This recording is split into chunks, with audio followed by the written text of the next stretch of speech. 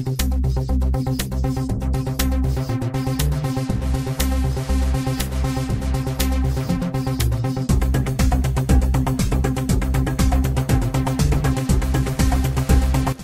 the washing system that uh, set up here, it's actually a circuit system that we, uh, we built uh, since three years ago.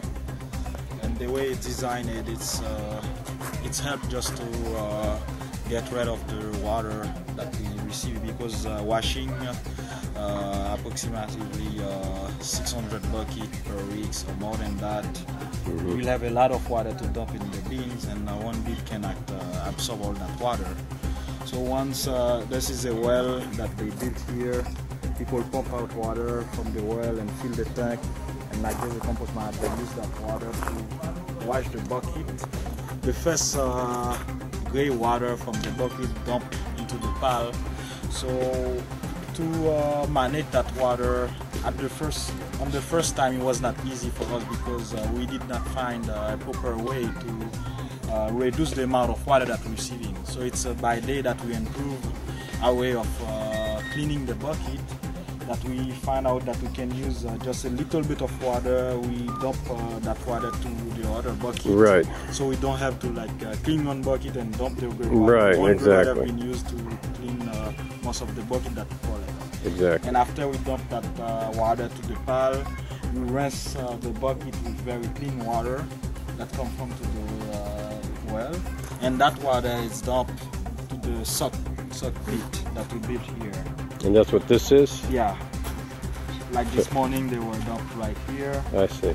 and after that, they, all the bucket is uh, stored right Okay. here, face up, and uh, So, there is. Uh, so it's the final rinse that gets dumped in here. The the, Yeah. the, the dirty water goes into the bins. Yeah, exactly. I and see. after that, we use a sprayer machine. We put uh, this kind of enzyme uh, named EM, efficient microorganism that we push out in preference, Mm-hmm. and uh, we just mix that with some water and we asperge the bucket. Like this, they uh, kind of uh, look clean Mm-hmm. with uh, like a natural enzyme. Mm-hmm. And that water we dump it to the to the bin because not too much. And after the last thing that we did, we prepare another solution of water with bleach. So we spray again the bucket, like, and after that we leave the bucket here. They get dry to the sun, Mm, and actually that the last uh, cleaning that we did we did for the bucket.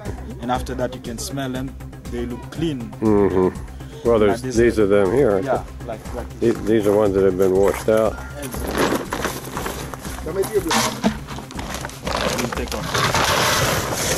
Yeah, you can smell a little bit of bleach, actually. Chlorine. So they look clean bucket again. These are cleaned out and they're ready to go back to the households. Yeah. Bucket is broken, they can be replaced. uh, so the household doesn't have problem to still using, keep using the system. And uh, tools, shovel, pitchfork, bowl, Wheelbarrow. And the sprayer Oh, this is the sprayer you were saying for Yeah. cleaning the toilet Exactly. containers out. Okay. So this, and this is a pump? yeah. It's a pump on it? Power. And then after that, uh, the water comes out here. and this And that's how you're cleaning out the toilet containers yeah. With that little No, no, spray. not the toilet. The toilet container is being cleaned with a brush. Oh, with a brush. Yeah, that is for the final clean. The final rinse with Final uh, rinse. you mean with the chlorine? Yeah, chlorine. Okay, and then so he's wearing these rubber gloves and Yeah. Where is where is the protection gloves right to collect and to compose? They just put them. in the rubber boots probably. Yeah, it's very long. See, Mm-hmm. it's. Uh, Yeah, just a safety Here. precaution. and they put that uh, You know, coveralls. coverall. There's the gloves. There is a right fit until here, so they are fully protected to work in case an accident happens. Yeah, in case you know there's a cholera epidemic or something, they don't have to feel like they're getting exposed. All right, this is a, another like public toilet they can move around. Comment est? Kote mami nou? They're using uh, okay. Uh, 60 liter receptacle. No yeah. smell at all. There's no turds showing, there's no smell whatsoever. Except for that goat. This is the second compost site on the compost area on this site in the village. In the village. This is and, where we started. And this is the only, there are only two in the village. Yeah. These are all the compost compost bins. We already all those pallets. This is new pallet. Oh, this, these have all been emptied, filled and emptied, and filled again. Yeah. So, uh, where are you getting the bagasse? It's at the same location, two kilometer from uh, from this site. And it's a what? Darbonne factory. It's a what factory? Darbonne factory. What do they make? They uh, collect uh, sugar cane from uh, the farmers in Leogane Yeah. to process to make sugar, Oh, to make so they're making sugar. After they put that in the machine that they left over. This is the leftovers from the And sugar production. Yeah. That that is one of the uh, biggest costs of the project.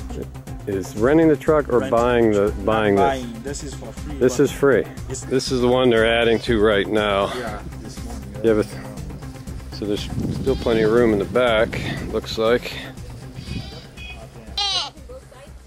Some people Okay, yeah. These are old piles that are shrinking down. There's quite a bit of it here, so you can see how much they shrink.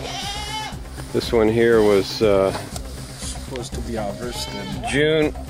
Uh, June was supposed to be his harvest date, so uh, this was started in August of 2013, closed September Okay, This took a month to fill. A year later, nine months later, well, here it is a year and a half later, That should be good compost. and it's all finished compost. It's being populated by local grasses. So this grass, when you get it off, you can put it in the next compost. Wow, There it is. Beautiful. What kind of odors you have here? Odor problems. Vraiment de ou qui genre de problème, qui genre de ou problèmes ou bien là, problème odeur. Bon, pas problème modèle, c'est Doesn't have any other tellement fait problem. travail là bien, pas de The work is performed properly, perfectly, so there is no other problem at all. There's no other problem, and I have to I had to ask that because I can't smell anything walking through around here. Besoin de demander ça. This morning they dump uh, that fresh pallet. Oh, that's right. That's right. Freshly dumped, and you couldn't smell anything. This has it. So, great. We're gonna go look at a At his house. at the house. Okay. Yeah, body like a- We're gonna go into this house. These guys are guarding the house here, but I'm gonna try to get past them real quick. See if I can get past these guys without without losing my my life. All right, I made it. Okay, Rico is the compost manager. Apparently, this is the disco area of the community. A little store here is Rico's wife. Bonjour. Wow, this is amazing. He's got a, a total garden here. Oh, and here's the here's the loo. Mais nous avons des toilettes dedans. This morning they empty everything. Nothing in it. Yeah, this is the bucket clean. So these are the uh, the empties. Got some bagasse in it. Rico here is in charge of the compost. At the beginning, he was a little bit shy uh, to uh, do this kind of job. Moi, venir me travailler But bit by bit, he's uh, improving his way, and he will uh, now he like uh, the job that he's doing because he understands. Un pile dans sa And he learned a lot about composting now. It's a, it's a good experience for him Parce que pas de jeunes boss qui ka because he didn't know that he could uh, do a job like this. At the beginning, uh, they had they had problem with chicken, like jump over the fence and come to dig, and there was rat rat problem as well on the site. That was. Uh, How did they how did they deal with that? Fait? Best way was use, he was using cat. Cats. Oh, okay, okay. rat. so like this. Uh, Put cats they put cats to work. Yeah. And as far as the chickens, First he talked to the owner, sommes des chicken, so they qui vivent de problème. hold them and put rope on them. yeah, okay, So that they they can get in and put them in the cage. they pin them up. So this it's the same structure. Okay, another toilet. Just modify the, the building and put the compost pallet inside. See what? Another toilet. There it is back in the corner. Is there anything in it? Do you want? Can you? How's- Livid, livid. How's- there's a little bit. Okay, there's a little bit in there. And uh, this is what she uses all the time? Yeah.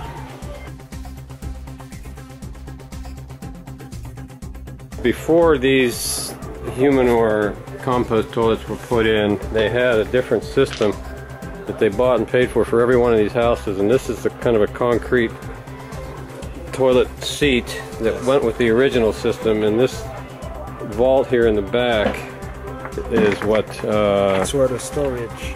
where the uh, excrement went. There were. Oh, I see. It's, it's like a pit latrine. So then what happened was uh, the vent, uh, it just smelled bad and got full of uh, maggots and stuff, and and they didn't like it. But they did end up, they did have a little building here in the end, which they were able to use to put the Humanure compost toilets in. So in that sense, it was an advantage because it had a building to put these other toilets in.